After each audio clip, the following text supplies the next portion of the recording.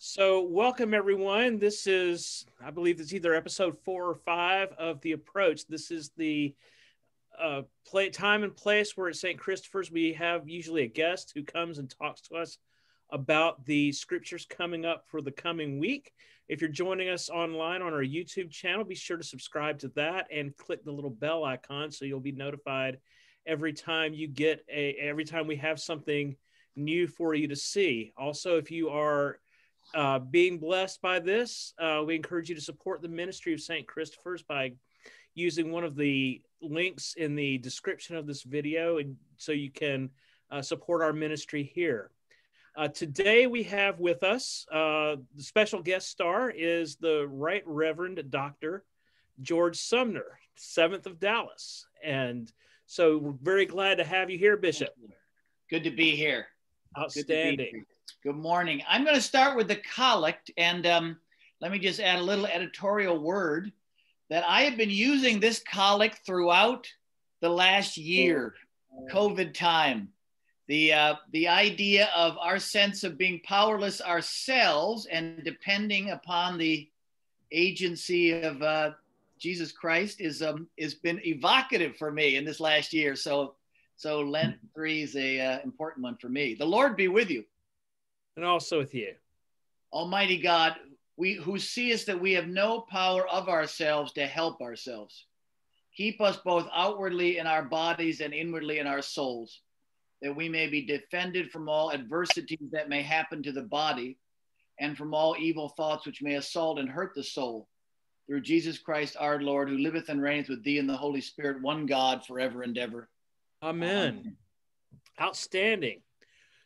Let uh, so let me uh, pull up here. So we're yeah, good. About, go ahead. Yeah, you please go. go yeah, go, go ahead and um. Yeah. Let me see here. I have now messed this up. So I had the third Sunday in Lent because I was uh, fourth Sunday in Lent because I'm sitting. I have a guest preacher next week, so I'm sending him the lessons. Uh, but we're gonna we are dealing with uh, year three, I think. So let's take a look here. Yes, the third yeah. Sunday in Lent, rather. Yes. So, okay. Uh, can I can I get a volunteer to read for me or what? Sure. I'll tell you what right. our, practice has been to uh, to uh, take a look at the uh, Old Testament reading because that's what we're doing. Right. talk about that for a while. I keep an eye on the time so we have time to talk about the gospel. So Good. yes, we'll, uh, we Good. get a yes? We Good. Let me. Um, I'm, I'm going to start with um I'm going to start with two stories before we start, and that'll get us set us up for the Old Testament lesson. So, when I was a rector, I had a very involved new Christian who was very excited about. He was doing morning and evening prayer every day in the lectionary. And after a year, he said to me, Finally, this morning, I got all the lesson, the Sunday lessons, the lections for Sunday morning to line up thematically. I saw how they all lined up. And I didn't have the heart to tell him that in the lectionary, the Old Testament is attuned to the gospel. And we were simply reading the epistles sequentially through, that they didn't, in fact, line up, except that, of course, it's all about Christ ultimately. So I guess it all does line up. But anyway, sometimes they do actually line up. So I'm going to try to see if they do this this uh, for these particular lections. But let me tell you the story I want to tell you. So the story I want to tell you is from the late 16th century in China. It's a missionary story, and it ha- it goes like this: that the um, the missionaries arrived, and the first missionaries there were Jesuits. These are Roman Catholic missionaries, and for those who are outside the Roman Catholic world, they think oh, those Roman Catholics all agree about everything, but actually it's not that simple. They have their own debates. So the Jesuits came, and as missionaries, they always wanted to adapt themselves to the place they got. And the Jesuit missionaries wanted to say, what's the common ground that a Mandarin 16th, 17th century uh, Chinese man or woman would understand, to build on that, and then to move toward the whole gospel. Um, and they sometimes they thought that might take a period of time, but often they're building on the doctrine of creation, the creator of all. That is something that a 16th century Mandarin would understand. But the cross of Christ, pretty strange new teaching. Um, and they they worked on that for a number for several years, and then the Dominicans arrived, and the Dominicans believed that you couldn't separate out the understandable parts from the other parts of the Christian faith, which you could get to later. The whole thing was a package deal, and that the cross of Christ wasn't something you'd get to in year three or five, but that it was something you had to take in from the beginning. So the first Dominican missionaries had a, they had a great crucifix, and they would march through the streets of Beijing saying "Repent," and with the with the cross of Christ. And this was both impressive and greatly, con, you know, a thing of great consternation to the to the Chinese hearers. My point being that in the Bible, the, the story of the Bible has a couple of strains, or what would you say, kind of uh, uh, ligaments, whatever, uh, arteries that run through the whole thing. And one is the artery of the doctrine of creation, right? That though we be confused and broken creatures, we are still God's creatures, right? And it has another artery, which is the doctrine of redemption. That in the, you know, if you read the beginning of Genesis, we hear about the creation of the world, creation of the human, the human fall. Humans continue to just muck the thing up even worse as you get on in Genesis until finally he calls Abraham and this, this idea of a calling a people and eventually saving that people and giving them this hope, uh, you know, comes into the Bible. So there's a there's an artery of the creation, and there's an artery which is redemption. God using a particular people, God's means of salvation, right?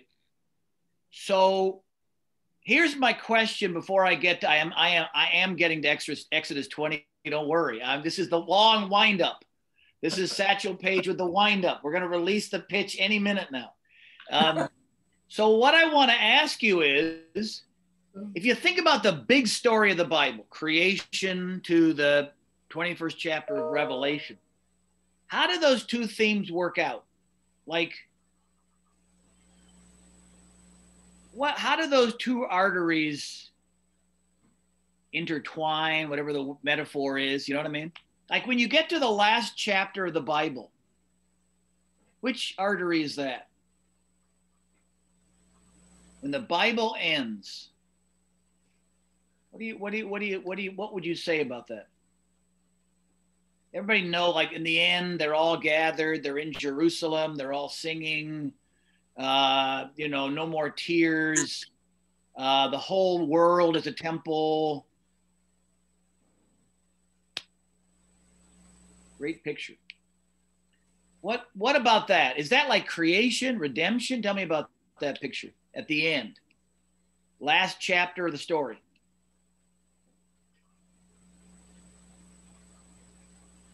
One of the things that we've been talking about as we've gone through some of these readings over the last few weeks is how it's very it, it's harder to understand in that linear stretch, right?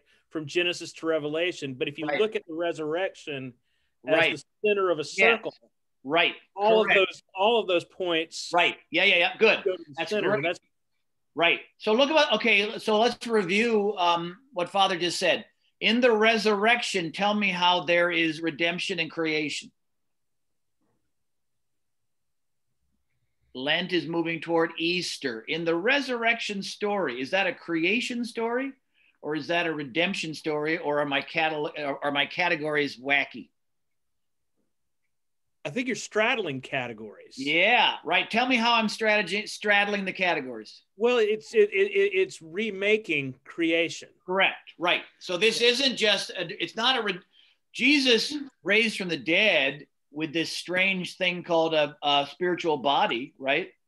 And the promise of remaking the world, new heaven and new earth. That's a new creation, right? No. And yet following him is to be a recipient of his saving work, right? Yeah. And it's a physical, it's a, it's a physical body too. I mean, right? Tells yeah. Thomas, "You touch me." Right. Yes. Like a chapter before, he says, "Don't touch me," but right. Um, but you know, yes. put your put your hand in my side, put your finger in the right in nail marks, right? It's a body, right? It is a body, and and you know the the, the Christian life, the sacraments, um, are a sign of um, this this at once you know um, material and spiritual salvation. And the kingdom of god is going to be a new city right? It's not just a kind of wavelength somehow but it's going to be a recreation of the world which is also redeemed right? Mm-hmm. so my guess what i'm saying is these two arteries are running through but i mean the metaphor is breaking down. I thought working. Anyway these two themes are working through but they're all but they're actually they're actually in contact and, and, and you see that in the resurrection right mm-hmm. so isaiah the prophet says and the lord says in isaiah there's going to be a new creation right mm-hmm. um, and that gets picked up obviously in the new testament okay so so what i want you to what i want to think about in the 10 commandments we're going to run this whole creation redemption thing are they two? Yes. Are they two separately? No. They're connected. There's one God of heaven and earth. God's actions are one. I mean, he, he they're, they're all of, of one type because they're all His.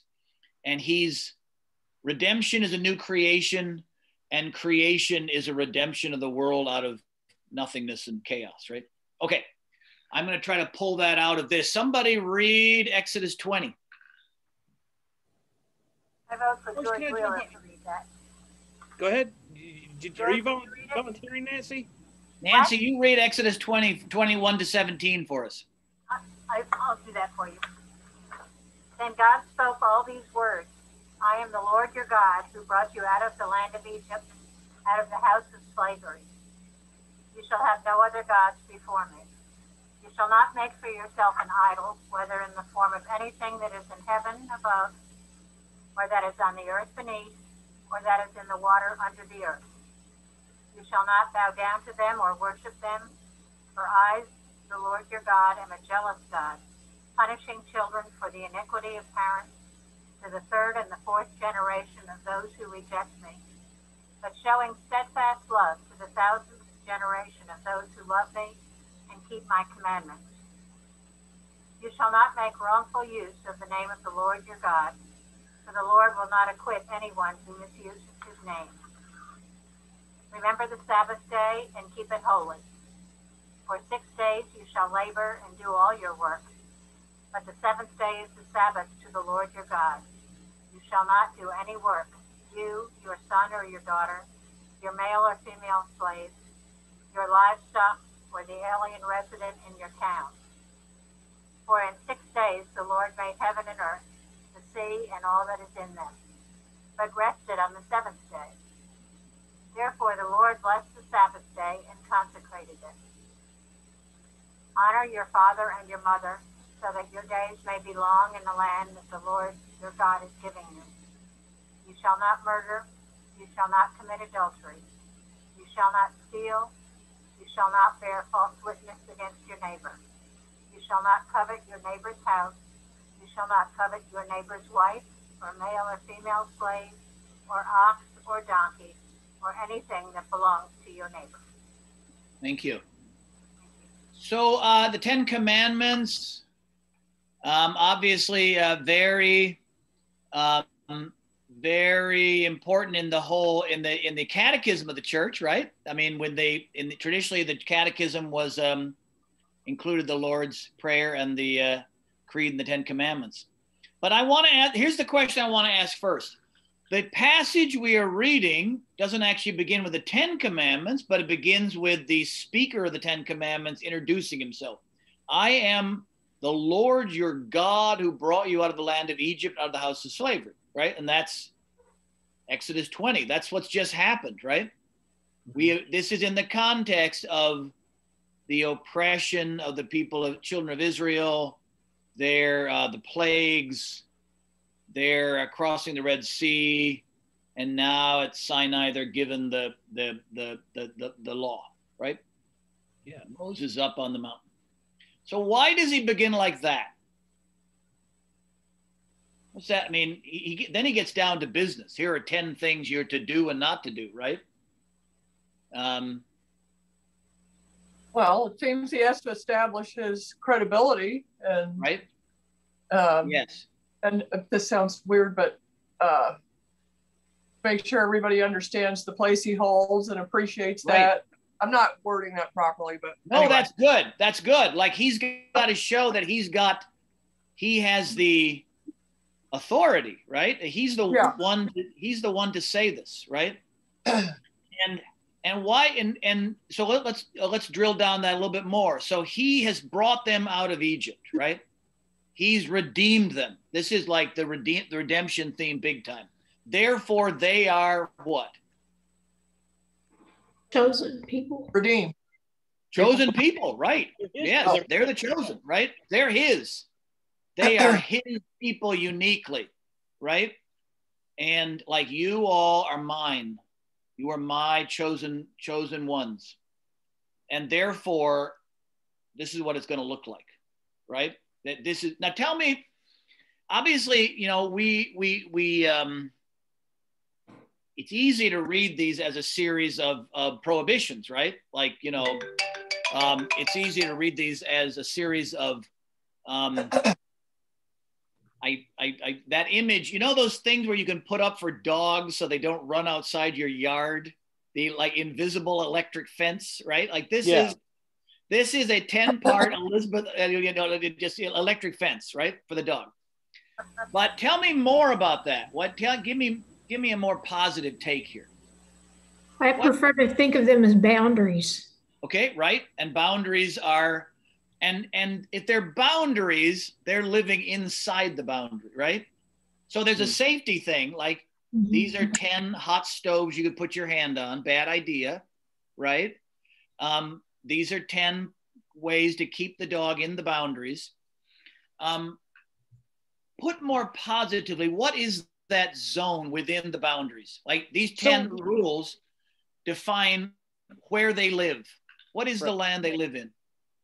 Yeah, well, I just I wanted to say when, when you talk about boundaries, one of the one of the things that I think of uh, when I think about that is you know that bridge that crosses the Rio Grande that's like right outside of Taos um, where you, you go to it's it's a really long way down. It's kind of like the, the edge of the Grand Canyon, I think almost. Right. And um, but I think about the boundaries on that bridge. If there weren't boundaries there, I would be flat on my face in the middle of it. You know, right. scared that I would fall off. But because there is a boundary there, I can walk up to it and see. Yes. You know right. what Right. And that's a big theme in Exodus. I mean, one of the huge themes is what's the thing in uh, in um, uh, C.S. Lewis in Narnia?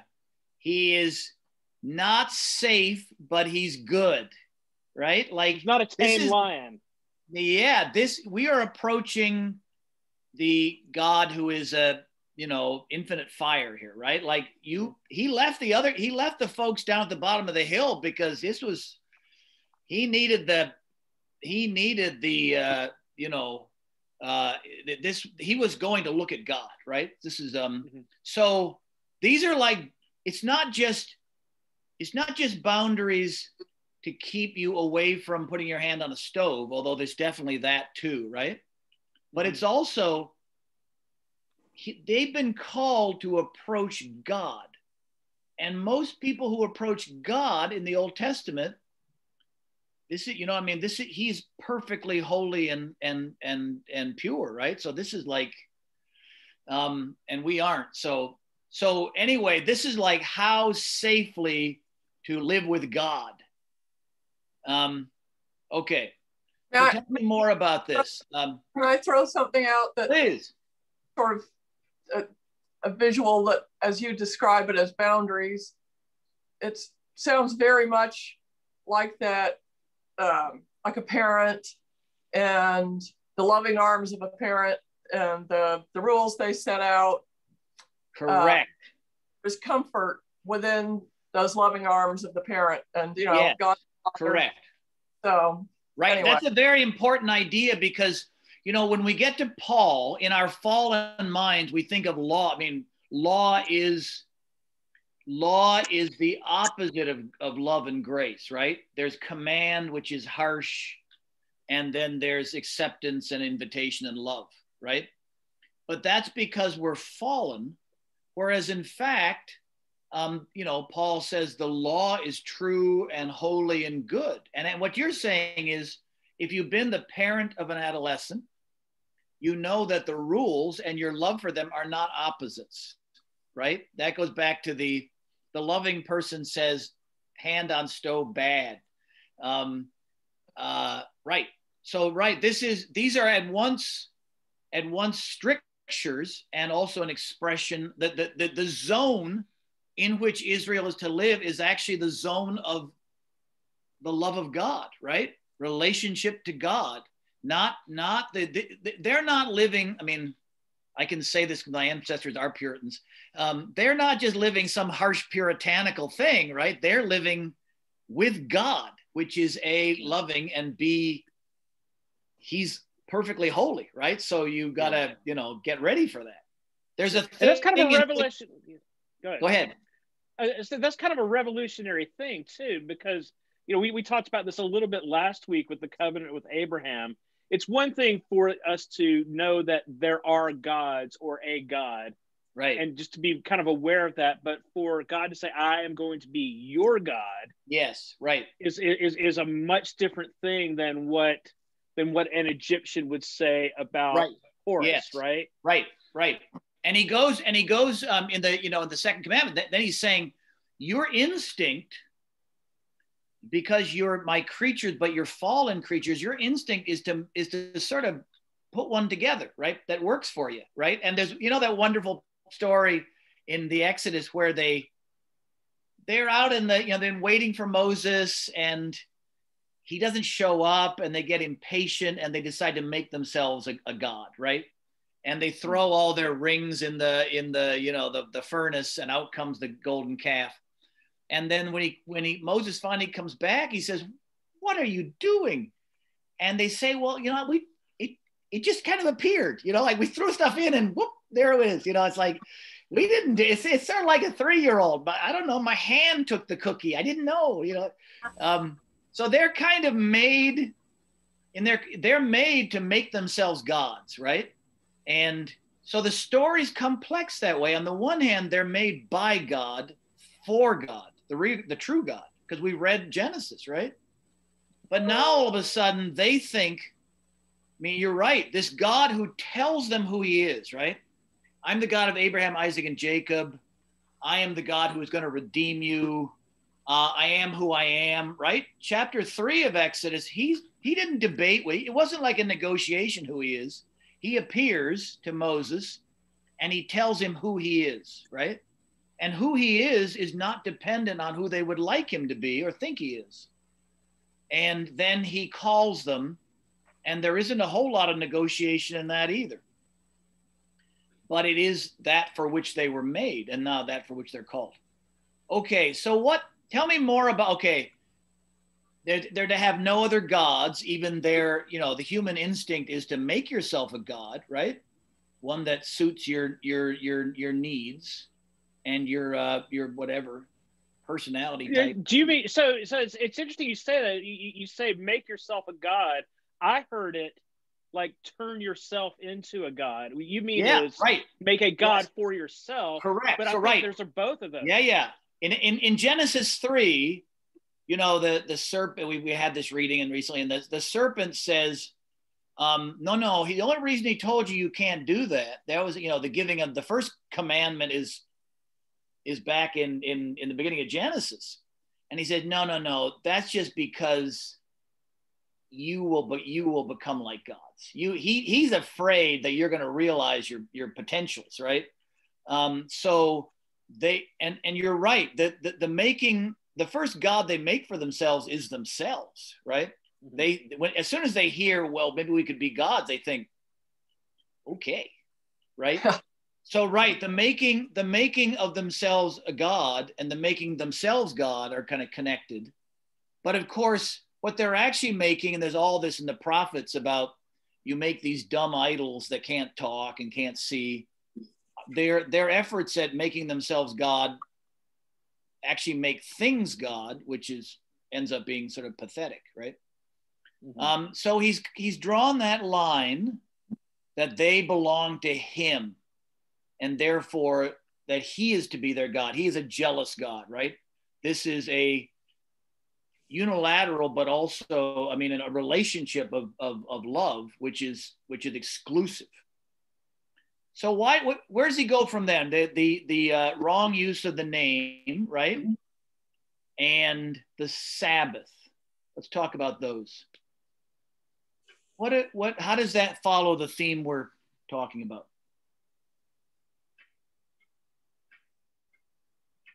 Hmm. What's he so? Why is he? Why is he big on this? The use using of the name, and not and and and leaving the Sabbath holy. That Sabbath holy one is really hard. I tell you, activist, over busy, whatever.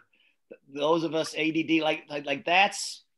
I'm convinced that a lot of contemporary spirituality comes down to trying to hear that. Anyway, that's side issue. Why are those a big deal to, to the God of Israel? What's packed into those? Why can't why can't well, I start? I often think on the I, I'm not sure if I'm getting this, but on the name, uh, use misusing the name of the Lord your God that uh, I think about you know what's happened over history that God is the most powerful thing so everybody wants that power for yes, right. Their cause. Well, God's on my side. God's gonna help me win this football game, whatever right. it is.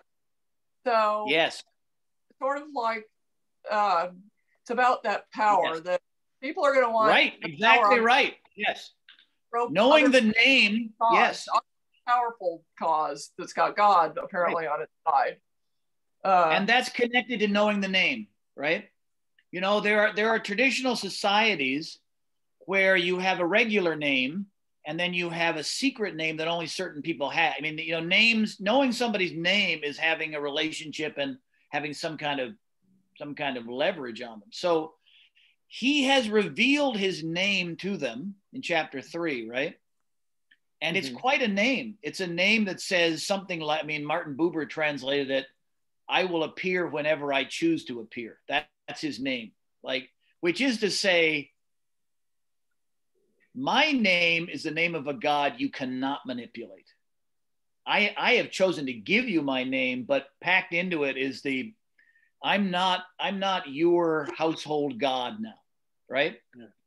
So he said, don't try to think you can um, you can uh, deploy my name. And and you're right. Human beings have deployed God for lots of purposes Yes, right. I mean, you know, um, World War One was fought between two sides who were not only invoking the same God, they were invoking the same, mostly pure. I mean, uh, Protestant. You know, I mean, Western. I mean, anyway.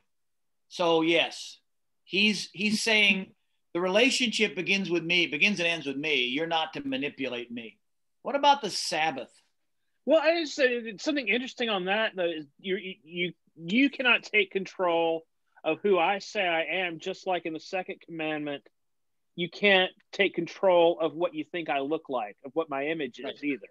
Yeah, I, right. I, I liked that connection yes. there when we yeah. made it. And there's something built in. I mean, it goes back to the idea of being in the image of God. So, so we are in in you know Genesis one made in God's image And that involves various things like imagination, thought, language. Because of imagination, thought, and language, we can pray. We're made to pray to God, right? That's what we're for mm-hmm.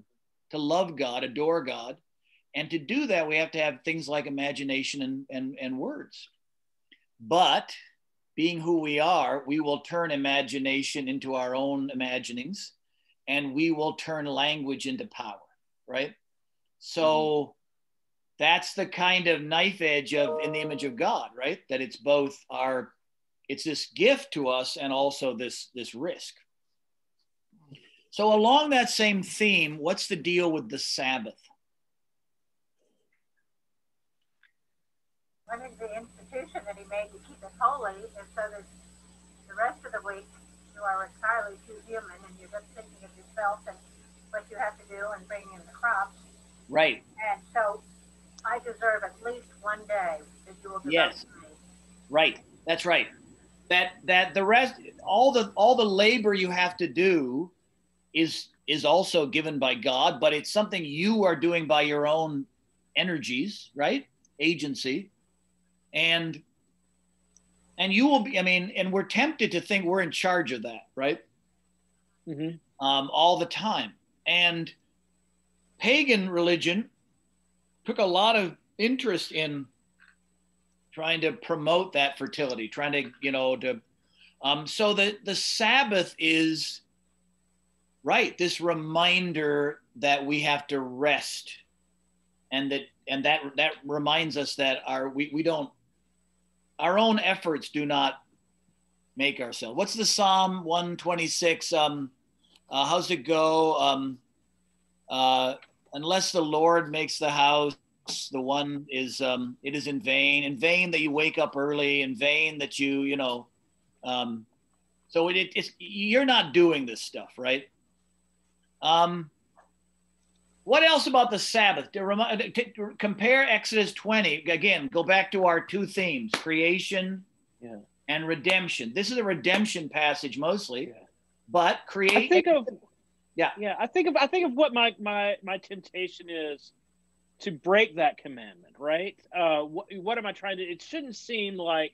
I mean, I'm lazy enough as it is. I, I don't usually need encouragement not to work, right? Um, but I think about what my temptation is, and it's just you know, if I just had one more day, I could really right uh, i could nail this down it's, it, it's almost like god is saying i have created things yes and there's nothing you are going to do to improve on that so right. stop yes. I, I i i'm i'm very sympathetic to this notion that if i just finish all of this i will have cleared the deck and then i'll be ready to rest with you god. But you know it's like um that's that's there's a lot of willfulness in that. Well you and Father Chris, you talked about the, the circular nature uh, on this theme. And to me, it, it's sort of like we keep rolling back around to the Sabbath day.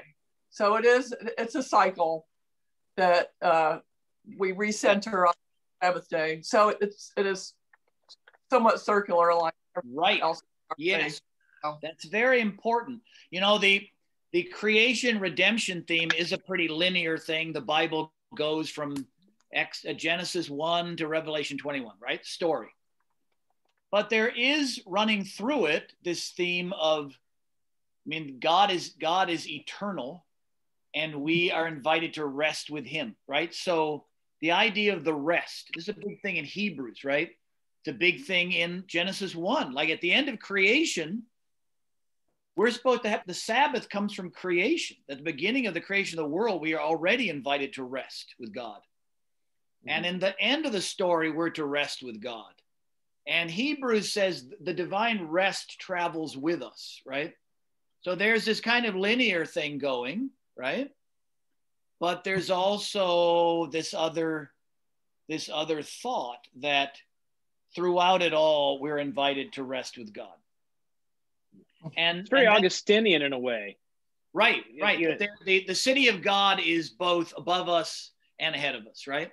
Yeah. Uh, we're, and our hearts are restless until they rest. Right. And we are, we are, um, uh, the rest is a gift to us And that's connect. Okay, so how connect this to the idea of worship. It isn't just that we're, I should add that the Anglicans, against those Puritans I mentioned earlier, did think that rest on the Sabbath, the Christian Sabbath, let's call it Sunday for our sake, did include play, right?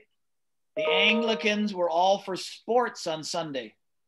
They would have liked Dallas, right? Sunday sports, good. Puritans, not good. Um, but anyway, mostly the Sabbath is for worship. So, what does that tell you about worship?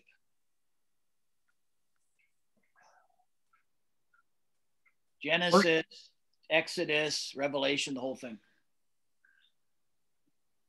Worship is restful and reassuring. I don't know. sure. Right. In other words, the worship is is a, the worship is under the category of rest, right? That's important because you think sometimes we think of it as useful. I hope it's useful. We learn things. We are in, we are sort of in, motivated to be better evangelist, better whatever, right? Like worship is worship um, uh, does something, right? But there's a side of it which is simply blessedly useless, right? That's a big Augustinian theme, right? Mm-hmm. Uti and frui, like there's use and there's enjoyment, right? He says things that in the creation are given to us to use, but God cannot be used, only enjoyed, he says.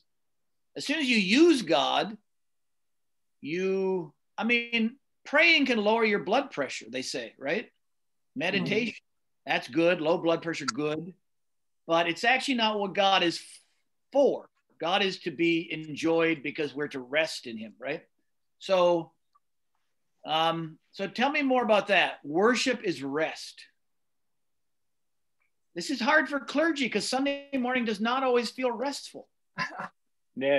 The clergy, the clergyman thinks, I speak for myself, that Sunday morning is work. This is a this is a challenge for the clergy, right? Because it isn't work. Why? What is it? What? In what way is it rest? So you, when well, you think about leisure, go ahead. Go, I'm sorry. Go ahead, Holly, please. No, I'm. I I always think whatever I say is probably very random. You do it. You are doing. You are. You are. You are batting five for five. Let me tell you. That. Uh, well, there's so much comfort in, in what you hear. So in that way, it's restful because it's reassuring. But I also, where my random thoughts go is the music aspect of our worship, that that is very sort of uplifting and refreshing. Um, and maybe that is a, a moment of yes, right, like for the clergy as well. right. Yeah, yeah. No, I like this. So the part about music means, I mean, I think what we connect here is worship and rest and the beautiful, right? In other words, you know, the beauty of holiness. So beautiful isn't something you do anything with, right? Like it doesn't, you know what I'm saying? It isn't utilitarian.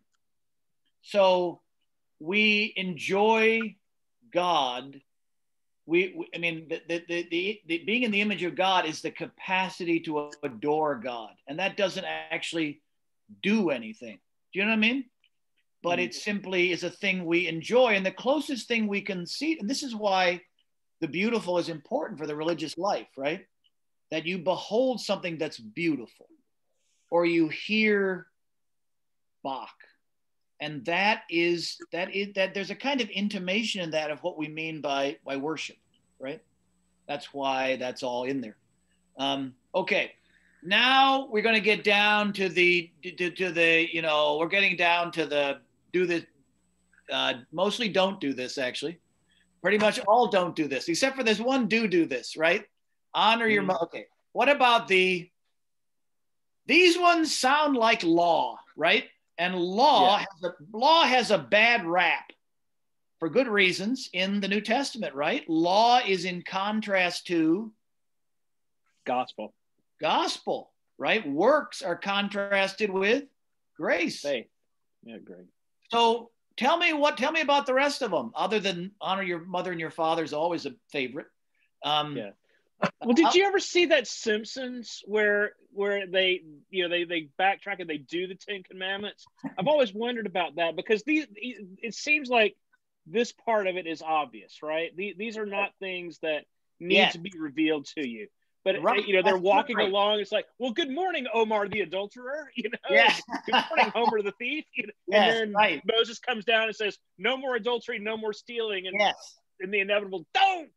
Right, right, well, right. And this this part, I I don't remember the code of Hammurabi, but it's like probably pretty similar, right? Hammurabi was a was a was a full bore pagan, and he came up with some stuff like this, right? Don't murder, don't steal. So what? That's the okay. So what's this doing in the Ten Commandments? It's both because everything we've been saying so far is unique relationship to the God of Israel redemption, full, full bore redemptive theme. You're my people. I set you apart with this, even though this is sort of what you were made as a human to do. Now we get down to law as law. You know, But it's weird to talk, talk about too because you know we've got this law in the middle of the five books of the law, Right, and we're looking forward to Correct. the other 612 Right. commandments. Yes. And these so ones, so it's Right. so vague sometimes. these ones are privileged, right? They Mhm. whatever whatever somebody tells you first thing out of their mouth is always pretty interesting, right? It's going to go on for pages, but he, this is the opener, right? And therefore these are important. And at some level they do sound like you don't need to you don't need to be an Israelite or a Christian, just be a human. Martin Luther, I should add, thought. He had a i mean he wasn't he had a whole natural theology argument by which i mean he thought the 10 commandments were what the proper relation of a creature to the creator is. And he thought he thought they were transcultural. He thought this was this this worked for every culture and every human being. Like this is where god tells you what the shape of just being a creature is. And then you know and then the other stuff that's going to come in exodus and leviticus and all that's all like added on top. So but now that's not quite right because we just said spent a number of minutes saying the opposite of that that this has everything to do with their unique relationship. Mhm. but luther thought the whole thing was pretty much um, pretty much worked in papua new guinea peru dallas you know, uh, Iqaluit, you know, whatever. Um, so tell me about the rest of it. I've got to, I want to bring up a point that Good. I'm probably opening up a can of worms. That's, that's what we're here for. We're- that, that- that ship sailed, Karen. that's awesome. Okay. Yeah. The one that the one that gets me is you shall not commit adultery. Mhm. I'm I'm a divorced woman. Right. And we're in a pandemic. So this is an interesting one. Um, and I've had some, I, I heard an interesting comment one time about this uh, by a priest, and I'm not going to repeat it. Um, but I am very, I'm a little bit more open minded than some um, on this. Uh, it's i don't know i've heard a lot of things and i think it's okay to to have sex outside of marriage i mean what you know what is it a date you know in this we're in 2021 and Right? uh, you know, this is very controversial, especially in some, you know, my my um, cousin was a fundamentalist Baptist, um, right? Yep. and I I was christened and confirmed in the Episcopal Church, so um, so this is pretty controversial. Now, some there was a priest that believed that you weren't supposed to have uh, something about comparing sex outside of marriage. Apparently, was like a, a talk comparing it to dogs, and I thought, that that was pretty um yeah an inappropriate Right. comment think- there. Right. Yes. I think part of what um, you know, um, I just had to say that. right. No, it's it. I, I, and I think if you I didn't You- want to, but I had you to. could you could bore down on or or, or or or meditate on each of these and find let me give you an example. Thou shalt not commit murder.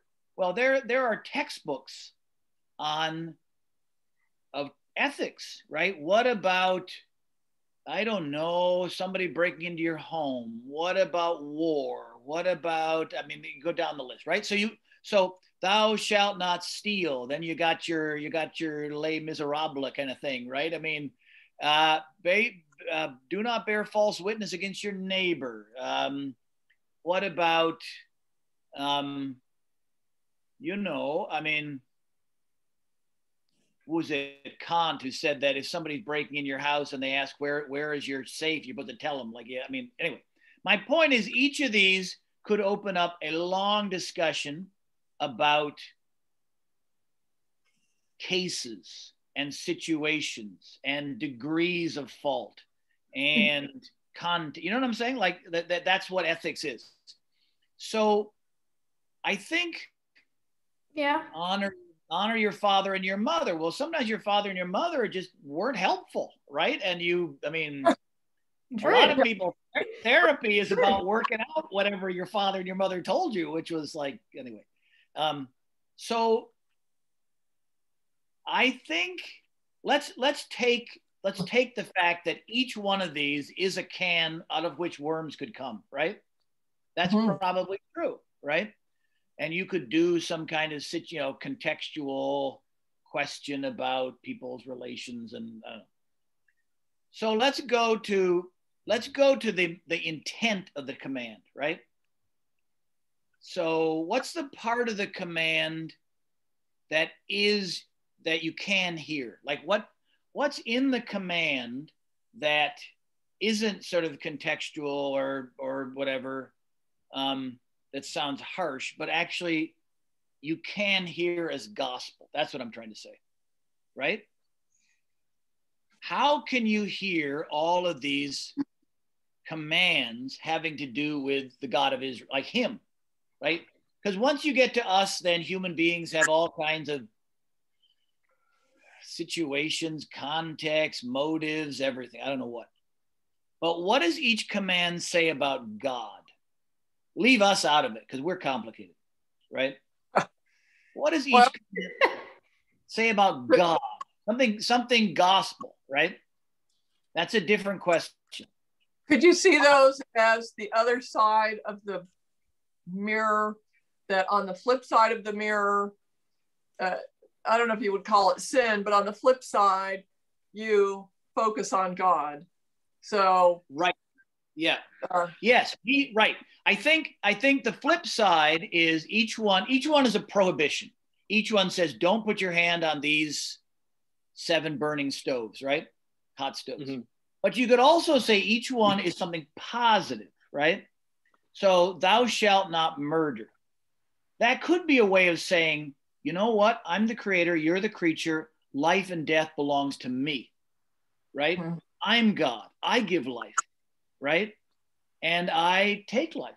And I I am the Lord of heaven and earth. You are it is not for you. In other words, he's saying now again, does that open up ethical problems?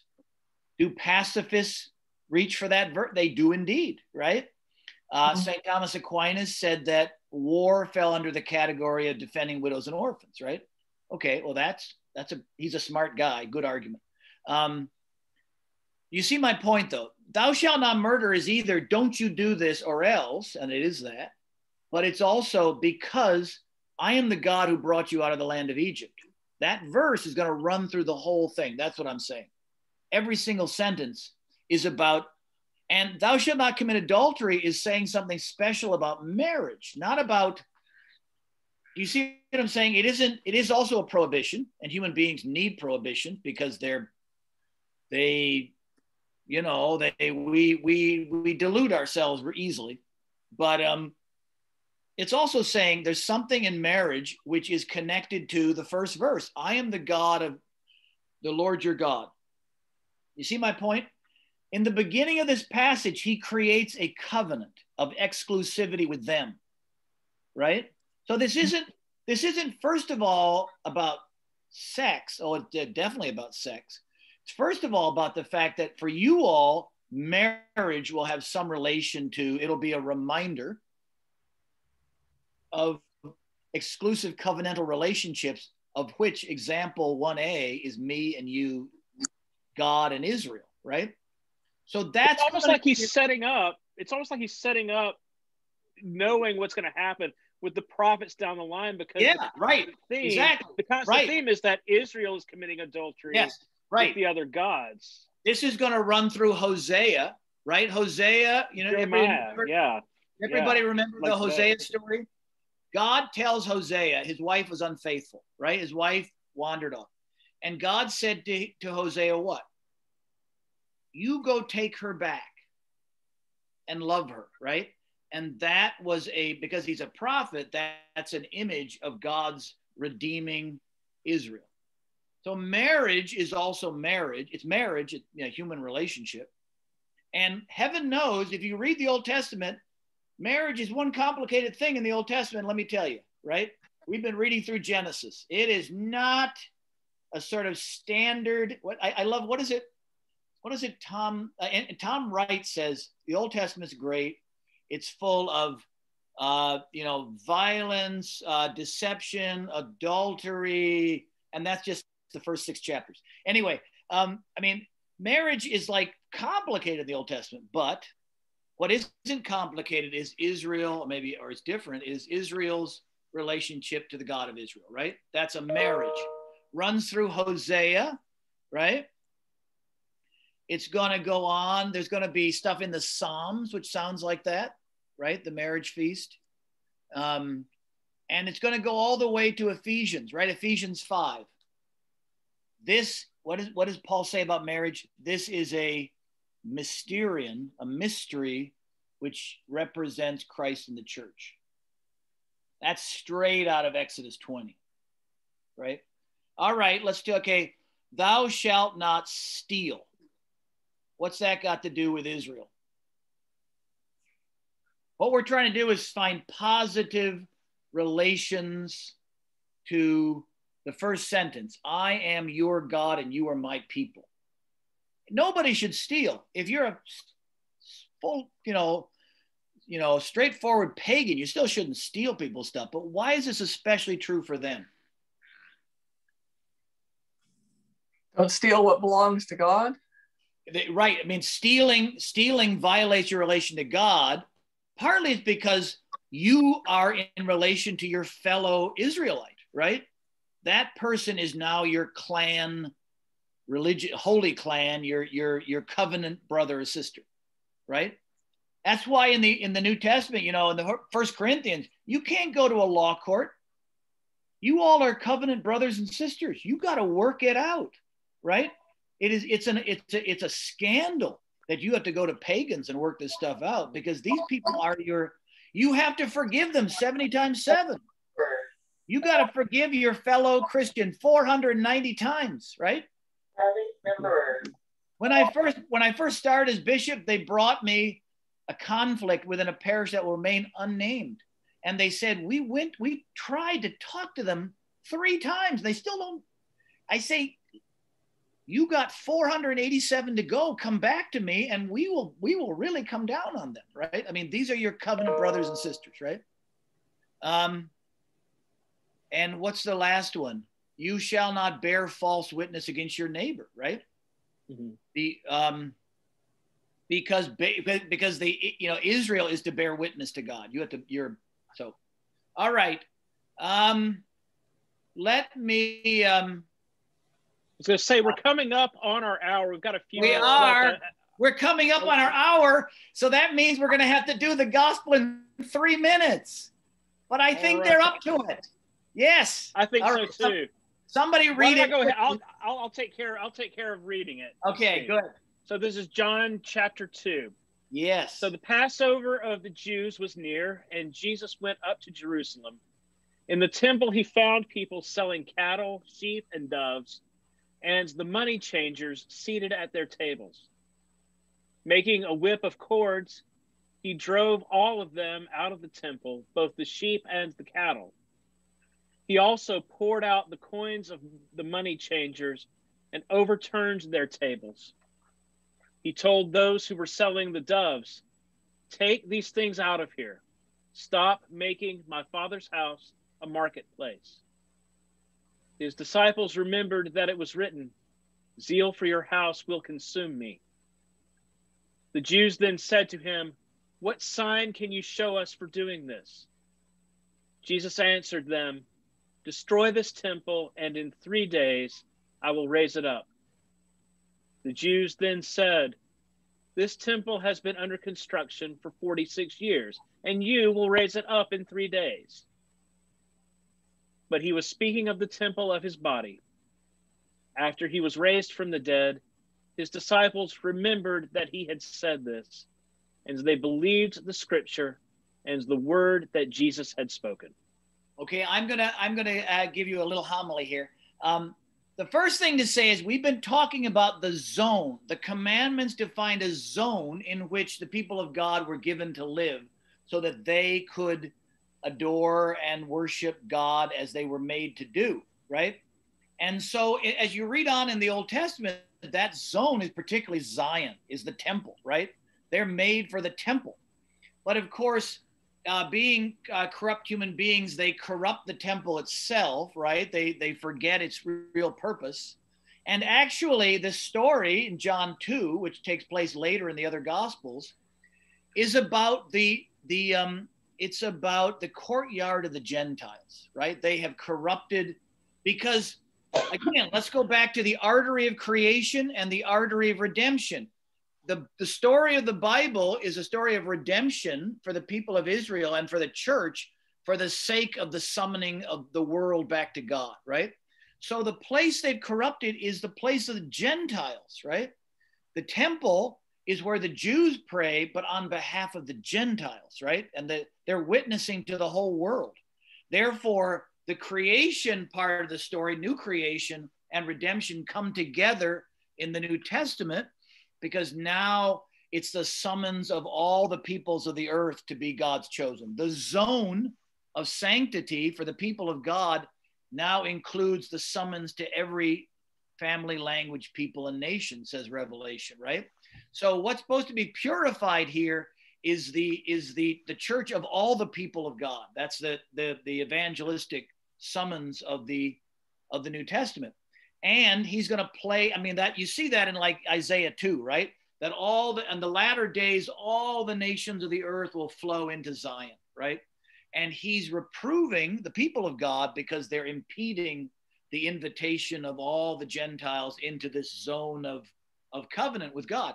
And finally, he says that this temple to which they're being invited is what? Right? Is his crucified and risen body, right? So the, the, the temple where all the nations of the earth are now to dwell in covenant love and rest, the Sabbath rest with God, is found in the actual body of Jesus, uh, crucified, risen, ascended, into which you and I are invited in the life of the church. So um, all of this, the the um, so this really does take us to the vision at the end of Revelation, right? That now all the world, insofar as Christ indwells it, is the temple of God to which all the nations are now invited. And this relationship of exclus- exclusive love and intimacy is now open to all the peoples of the earth because the new Zion is, is his risen body this was I this was a lot of fun and very lively. It is. You know, whenever you teach one of these things, what is your fear as a teacher? People won't say anything. They said a whole bunch of great stuff. So that was great. I'm grateful for that. And um and uh we uh I pray for a uh blessed uh less rest of Lent and Holy Week and Easter tide for you all. The Lord be with you. And also with All- you. You. Let's pray. Heavenly Father, we give thanks that by the initiative of your grace, you call us into a, a relation of, of um, gracious intimacy with you through Jesus Christ. And we pray that you give us, by your grace, a way of holiness to walk, which your, which your commandments show us. And uh, we pray that you would grant us in all of our striving uh, your rest. And we pray all this in Jesus' name. Amen. Amen. Bishop Sumner, thank you very much for That this. was a lot is of fun. fantastic. Thank you. Yes, and Thank we'll you. see you soon. Uh, See you once soon. again, thank you for joining St. Christopher's on this. And if uh, again, please be sure to subscribe to our channel and get notified every time we have one of these things. We look forward to seeing you next week. Bye. Bye. Bye all. Bye.